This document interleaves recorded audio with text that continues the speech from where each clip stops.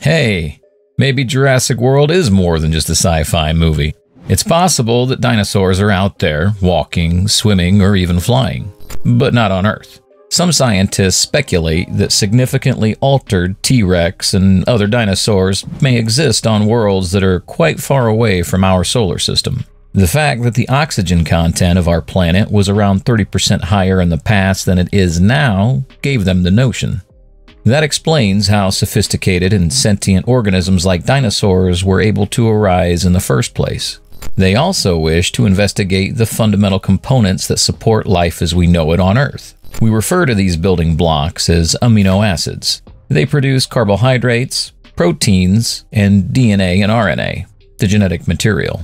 They mostly exist in one shape or orientation and are consistent. They can be positioned in both left and right directions, meaning that they mirror each other in the same way as our hands. We refer to this as chirality.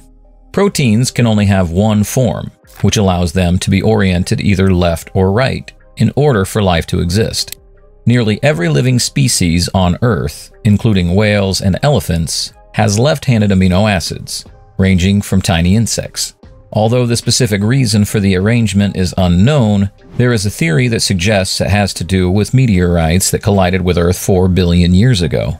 They introduced some types of amino acids and other organic compounds to Earth, which inadvertently established the current pattern. Perhaps we could utilize the custom telescopes we built to explore worlds, particularly ones where environmental circumstances are similar to those that existed on Earth during the time of the dinosaurs.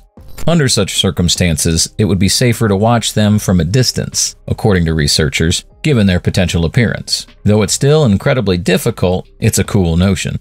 Numerous catastrophic occurrences and mass extinctions occurred throughout the history of life on Earth, particularly in the case of dinosaurs. There's always more space for fresh dinosaur speculations. One of them makes an intriguing but untrue claim that oil originated from dinosaurs. Millions of years ago, flora and sea animals left behind remnants that eventually turned into oil. This was far before the emergence of dinosaurs. Little creatures found their way to the ocean floor as a result of microorganisms breaking down vegetation and animals. They took off a few other elements and the majority of oxygen. All that was left behind was a sludge, primarily composed of carbon and hydrogen. Many layers of silt and sand accumulated over time to obscure those remnants. Heat and pressure converted the silt's remnants into natural gas and crude oil when the sediment reached a depth of 10,000 feet or more. Although the possibility exists that dinosaurs lived or fell into the ocean and subsequently transformed into petroleum in a similar way, this notion remains unsubstantiated as no fossilized dinosaur skeletons have yet been discovered. Then there's the feathered dinosaur theory, which appears to have more evidence in actuality than the preceding theory did. In 2010, scientists discovered proof that a dinosaur species with ginger feathers existed 100 million years ago. There was a separate species of dinosaur 150 million years ago, according to another group of experts. Those dinosaurs had reddish brown feathers on top of their heads and freckles. It's likely that the color patterns served a purpose such as attracting mates or serving as a means of communication with other members of the species. Years later, however, researchers looked into the Microraptor, also referred to as a feathered dinosaur. It dawned on them that it had likely resembled a bird rather than a dinosaur. The way birds replace their feathers is crucial information. Flying birds will not be able to fly very well if their feathers are not replaced in a certain order. Furthermore, the feather changes of this organism match the pattern found in the bones of the Microraptor. Therefore, it's unclear to them which category this animal belongs to. Feathered dinosaurs shed a great deal of skin, little by bit, much like dandruff does. Bob, you seem a little flimsy there. Do you need to get a new shampoo? Indeed, unlike lizards, who shed their skins like an old suit, they did not do so. When people think of dinosaurs, we typically imagine solitary animals more akin to reptiles than social beings. In the Gobi Desert, however, some researchers found a collection of clutches that date back 80 million years. It indicates that, like bird colonies, there once existed dinosaur colonies that watched over their young and defended their nests. That's also what crocodiles are known to do. Dinosaurs with narrow backs were called pelycosaurs, and pterosaurs were flying dinosaurs.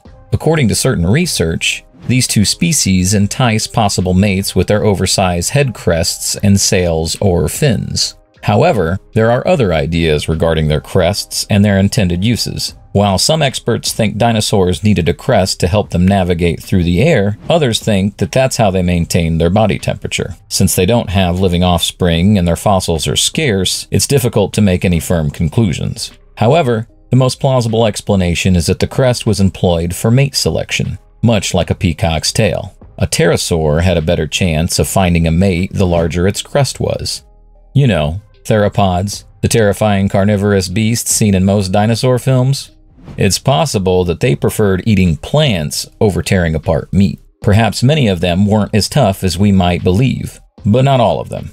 Large, terrifying animals like T Rex might be the exception rather than the rule. The problem is that these creatures are portrayed in films as being far faster than they actually were. They were presumably able to outrun the typical human runner by a small margin. Researchers examined the diet of Coelurosaur for direct proof and made sure the animals had no food in their bellies.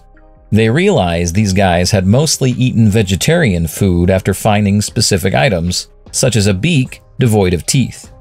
Even some well known ones, like velociraptors, might just be harmless plant eaters rather than the frightening dinosaurs from our childhood nightmares from Jurassic Park. Scientists discovered the fossils of a tiny dinosaur more than 10 years ago, it was a long legged creature, about the size of a parrot. Its ancestors included some of the most well known carnivores in history, including the Velociraptor and Tyrannosaurus rex. The majority of terrestrial dinosaurs had five fingers, but some eventually lost some of them. This new one they found was unique in the way that it had one finger with a sharp curled nail at the end of each front leg, as opposed to the more typical three fingers for its family. This thing most likely dug into insect nests with its one finger so it could feed. Despite the fact that the asteroid that took out the dinosaurs is well known, some people have different ideas. One paleontologist even advanced the hypothesis that dinosaurs may have died out because they were consuming one another. This was especially effective for the progenitors of ferocious, terrifying predators like Tyrannosaurus.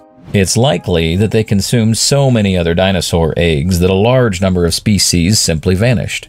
No dinosaur mother could stop them from eating her eggs because she couldn't be around all the time.